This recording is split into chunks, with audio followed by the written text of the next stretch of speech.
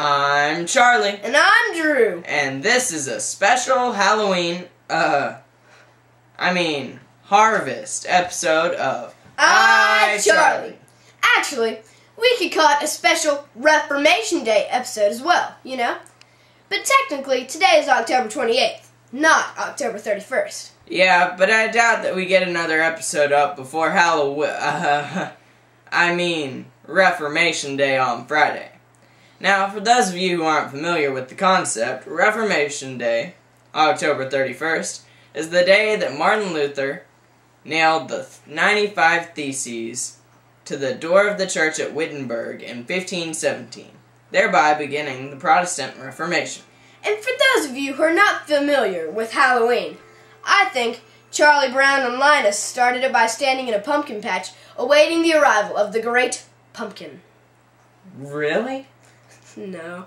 Halloween has its origin in, its origins in the ancient Celtic festival known as Samhain. The festival of Samhain is a celebration of the end of the harvest season in Gaelic culture and is sometimes regarded as the Celtic New Year. Traditionally, the festival is a time used by the ancient pagans to take stock of supplies and slaughter livestock for winter stores. The ancient Gaels believed that on October 31st, now known as Halloween, the boundary between the living and the deceased dissolved, and the dead became dangerous for the living by causing problems such as sickness or damaged crops.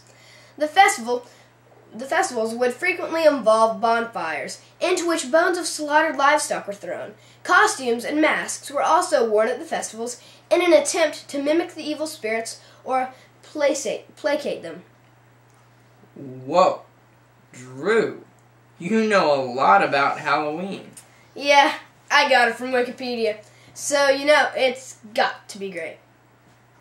Wikipedia is the best thing ever. Anyone in the world can write anything they want about any subject. So you know you are getting the best possible information out there.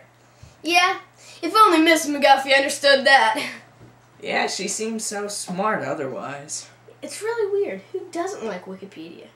I don't know. Well, back to Halloween. We know that people have differing views on it, and we're totally cool with that. Mom has never let us do any big scary stuff, but we always try to make it to Boo at the zoo. Yeah, remember the year that Mom dressed you up as the Cat in the Hat and me as a giant M&M? I don't actually remember it, but I've seen the pictures. Yeah, there's not much boo at Boo at the Zoo. Yeah, this year we just went in our animal animal day costumes, and Bonnie went as a butterfly princess. I hate to admit it, but she was a pretty cute butterfly princess. It kind of made me glad that I went for her. Here we are at Boo at the Zoo. Bonnie. Boo at the Zoo was a little different this year because there were so many people from ECCS and, EC and ECS there volunteering. Yeah, some of them looked like they were having fun, but others seemed to be sort of bored with helping little kids toss various kinds of balls into different types of holes and pieces of wood. Yeah. Well, the Celtic dancers didn't look bored, did they, Charlie? How could they be bored, Drew, when they had such an adept student to teach their moves to? Yeah, at the homecoming dance, Charlie apparently gained a reputation for having only one move, which the ladies have deemed the Charlie. It goes something like this. Drew, you have it all wrong. It's. So, at Boo Zoo, Charlie approached the Celtic dancers, explained to them that he only had one move, and asked them to help him out. Here he's getting a little instruction in Celtic dancing.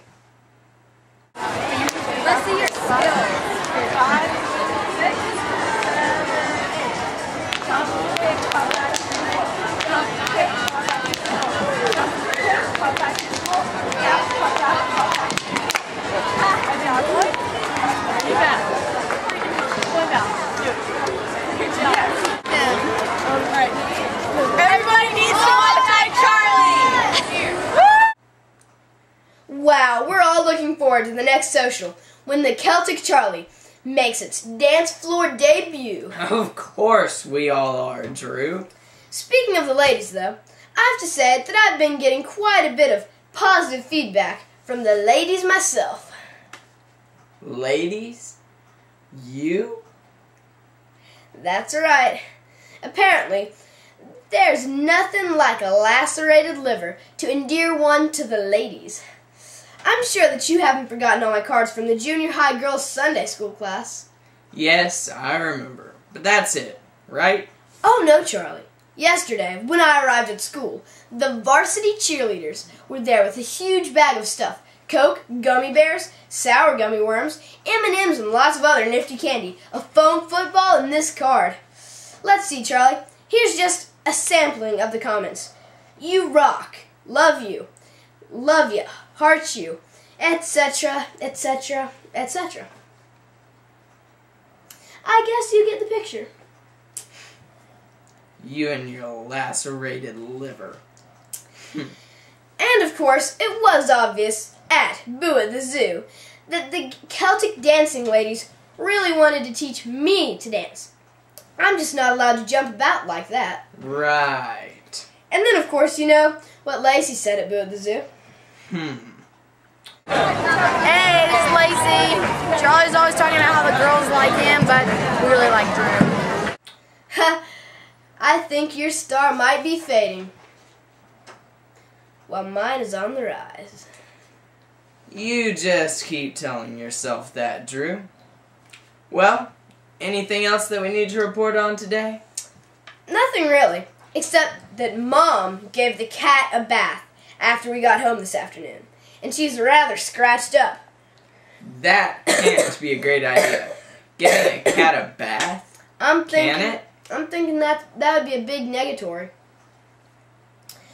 But we have a viewer email segment tonight, Charlie, don't we?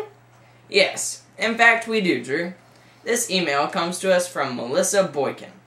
She reminds us that while we have covered other sports, we have completely neglected mention of the equestrian exploits of several of our schoolmates, including Melissa, Caitlin, and Tiffany, just to name a few. She writes, Okay, our show has a season just like any other sport, and we show in divisions that are narrowed down to class, and some are on the flat, meaning we don't jump in the ring at that time. And after the flat class is the jumping class, which is like what you see on TV, but we are not going crazy fast like they do. It is slow and graceful, or we try to make it like that. In a second email, Melissa reported that her most recent horse show, she placed in several different categories. Second place on the flat, and fifth in jumping over fences, and third in another jumping fences competition. Impressive.